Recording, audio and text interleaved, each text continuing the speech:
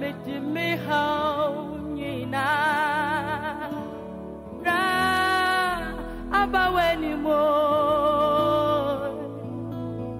Na menim sɛ wɛwurade kasa meha nyina medadwe nyina ɛbɛyɛ din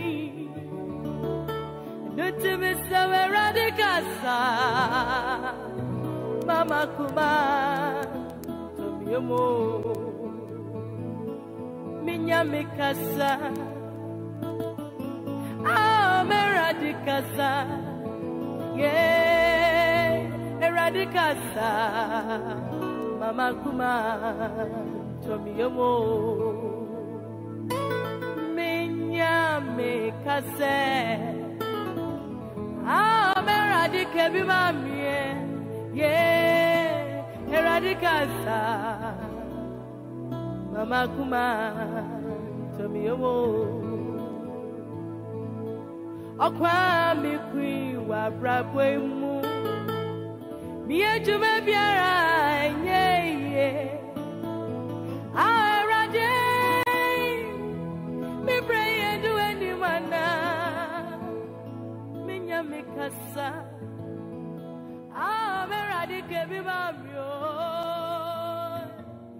Adikasa, Mama Kuma, Tomiomo.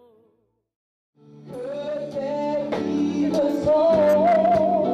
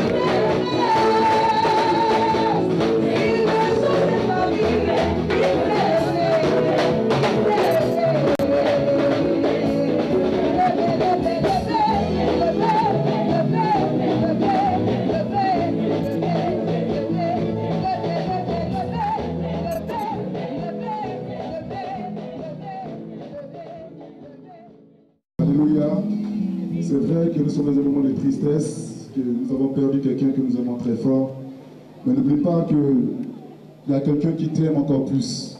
Il a dit dans sa parole, parce que je m'en vais au Père, je serai avec vous jusqu'à la fin de ce monde. Et n'oublie pas que le Seigneur Jésus-Christ t'a fortifié dans le moment difficile. N'oublie pas que pendant qu'il y avait des difficultés, il t'a préservé de la mort. Et si tu es reconnaissant de tous ces bienfaits dans sa vie, je veux que tu acclames puissamment Jésus-Christ de Nazareth. Puissamment Jésus-Christ de Nazareth. Alléluia. Je veux que nous puissions nous lever. Nous puissions nous lever tous pour prier au Seigneur, afin que par sa parole qui nous guide, qui nous fortifie, tu vas fermer tes yeux. La Bible déclare d'annoncer la parole de Dieu dans des moments favorables ou non. Père, nous voulons bénir ton nom, te rendre grâce. Toi qui as voulu ces instants. Par ton Saint-Esprit, parle à nos cœurs, afin que ta parole nous fortifie dans ces moments difficiles. Réponds à certaines questions que nous nous posons dans ces moments difficiles. C'est au nom puissant et inégalable de Christ Jésus j'ai prié. Amen. Est-ce que tu peux acclamer le Seigneur Jésus-Christ et vous asseoir? Vous voyez, en pareil instant, beaucoup de choses peuvent défiler dans notre tête, beaucoup de pensées. Mais la parole de Dieu est puissante pour nous fortifier. La parole de Dieu est puissante pour nous révéler la pensée de Dieu concernant ces instants que nous sommes en train de traverser. Aujourd'hui, je vais intervenir sur deux points. L'attitude que nous devons avoir en tant qu'enfants de Dieu en pareille situation et la deuxième question, c'est après la mort où irons Beaucoup de questions, les gens se posent à ce sujet. Et à la lumière de la parole de Dieu, Dieu va nous éclaircir. Je prie Dieu vraiment que ton attention soit captée par cette parole et que Dieu te fasse du bien. Amen. Nous allons lire la Bible à partir du deuxième livre de Samuel, verset 12 à partir du verset 15. Et Nathan s'en alla dans sa maison.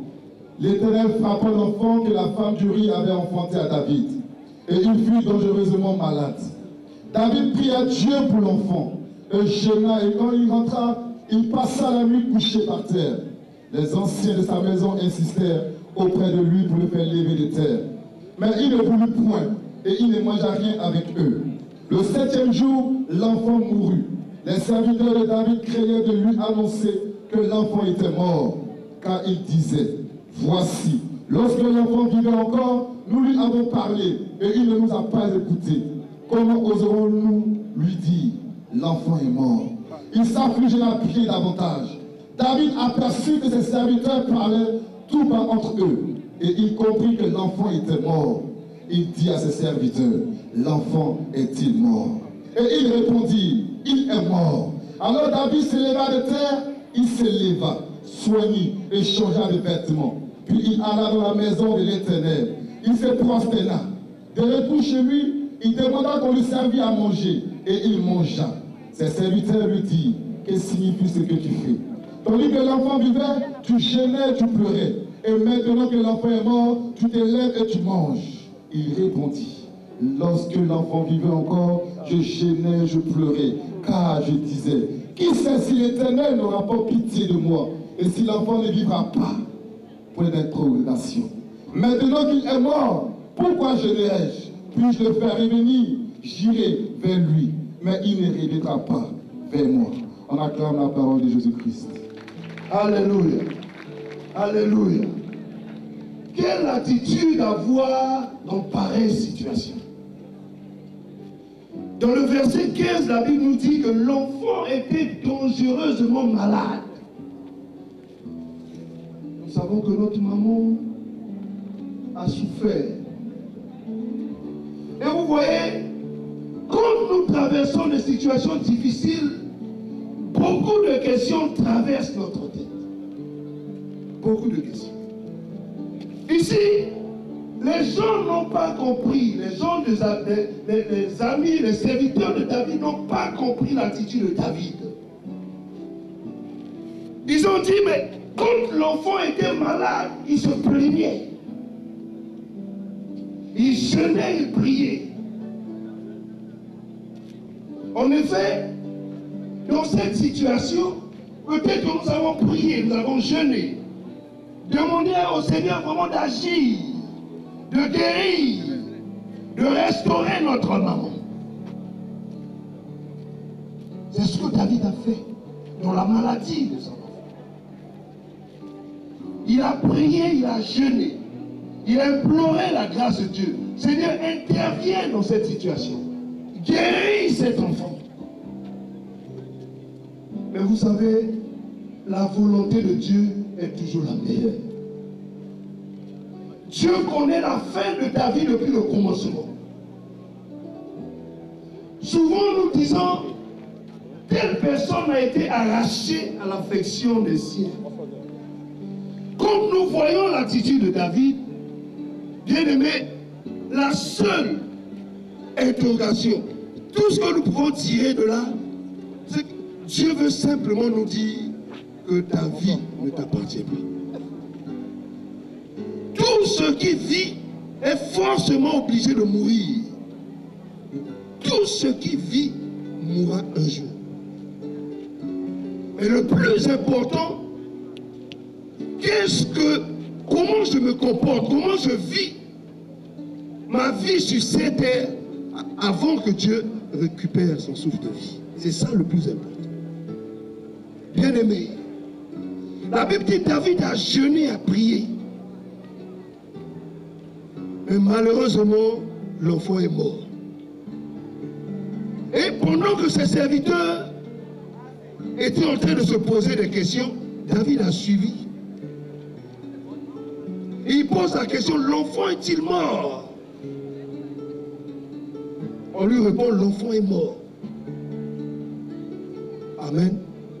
Je veux dire à quelqu'un, la mort n'est qu'un voyage. Pour aller quelque part. Parce que cette terre n'est pas notre destination. Nous sommes comme des pèlerins sur cette terre. Et la mort n'est qu'un voyage. Dès que David a vu que l'enfant était mort, il s'est levé. Il s'est lavé, il s'est parfumé. Les gens se posent la question, mais pourquoi dans cette situation, nous nous réjouissons, nous pouvons chanter, nous pouvons danser à la gloire de Dieu David a dit, c'est moi qui irai vers lui et non le contraire. Alléluia. Alléluia. La vie que nous vivons ne nous appartient pas. La vie appartient au Seigneur. Et en tant qu'enfant de Dieu, la mort, la Bible nous dit, est inquiet. L'attitude de David voulait simplement dire que la mort n'est pas la finalité de toute chose. Au contraire. Il dit, mais quand l'enfant était malade, tu jeûnais. Pourquoi maintenant que l'enfant est mort, tu te réjouis? Alléluia. Alléluia. En tant qu'enfant de Dieu, la mort est inquiet pour nous. Parce que nous savons que notre soeur, notre maman, est allée dans la félicité, est allée dans le sein d'Abraham. Et le dernier jour, nous nous reverrons. Nous allons prendre le deuxième passage pour lire, pour bien comprendre. S'assit des miettes qui tombaient de la table du riche, et même les chiens venaient encore lécher ses ulcères. Le pauvre mourut, et il fut porté par les anges dans le sein d'Abraham. Le riche mourut aussi, et il fut enseveli. Dans le séjour des morts, il leva les yeux, et tandis qu'il était en proie au tourment, il vit de loin Abraham et Lazare dans son sein. Il s'écria, Père Abraham, aie pitié de moi, et envoie Lazare pour qu'il trempe le bout de son doigt dans l'eau, et me rafraîchisse la langue. Vous voyez, ici je veux t'expliquer la raison pour laquelle David s'est lavé, s'est réjoui, et David est allé dans la maison de Dieu pour louer Dieu. Ọwọ́dí ẹ̀ dàdí ẹ̀ mẹ́tẹ̀ yẹn ọdún wọn mẹ́tẹ̀ tàbí wọn ọ̀yọ́ rẹ̀ ọ̀yọ́ ọmọ ẹ̀ kìlá gbúdí ẹ̀ mẹ́tò má di ìgbà àdúrà yẹn wọ̀nyẹ. Les gens pensaient que David était fou. náà nù. La mort n'est pas une fin. La mort n'est qu'un voyage.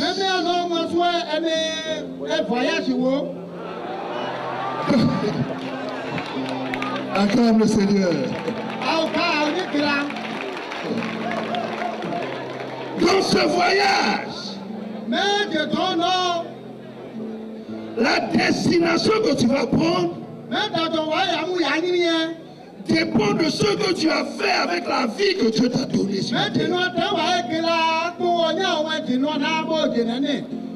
Le riche vivait une vie pleine de succès. Il avait son argent, il faisait de sa vie ce qu'il voulait.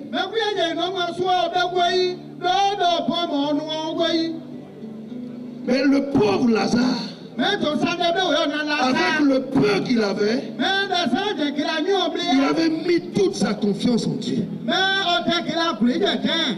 Bien-aimé, la vie ne s'arrête pas par tes richesses ni tes possessions ici sur terre.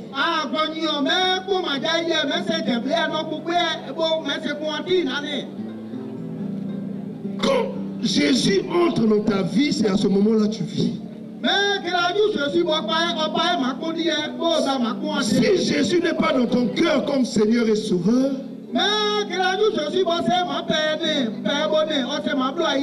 ta vie n'est qu'une tragédie. Il peut retirer cette vie à n'importe quel moment. sọ̀ bọ́. Il y a des gens qui n'ont pas donné leur vie à Jésus. Après leur mort, ẹ. peut-être qu'ils aimaient boire. Mais dans le lieu du tourment là-bas, ils auront envie de boire la bière. Mais là-bas, il n'y aura pas de bière. ha ní mo Nos désirs, nos sens resteront intacts, ẹ̀. Mais tout ce que tu aimais ici sur la terre, les mêmes désirs resteront intacts. Mais tu ne pourras pas assouvir tes désirs là-bas. La Bible nous dit que le riche a dit Père Abraham, demande à Lazare de m'envoyer un peu d'eau. Alors qu'il était déjà mort, bien-aimé. Alléluia. Alléluia. Alléluia. Alléluia. Mais comment quelqu'un qui vient de mourir peut réclamer de l'eau, bien-aimé? Alléluia. Il est important que nous puissions donner notre vie à Jésus-Christ. Il va changer notre cœur. Il va changer nos cœurs.